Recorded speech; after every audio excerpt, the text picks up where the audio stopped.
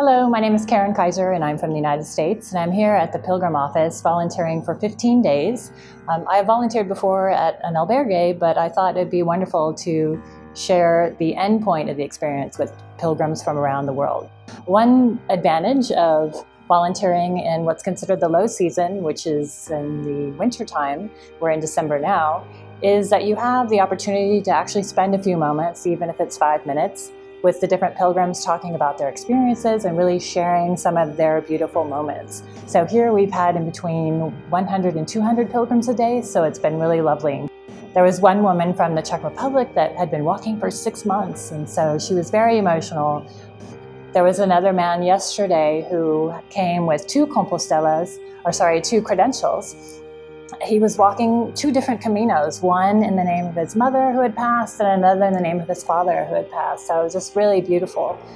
Um, yeah, just really amazing experience. So I would recommend it to anyone, whether it's high season or low season, it's just a great experience.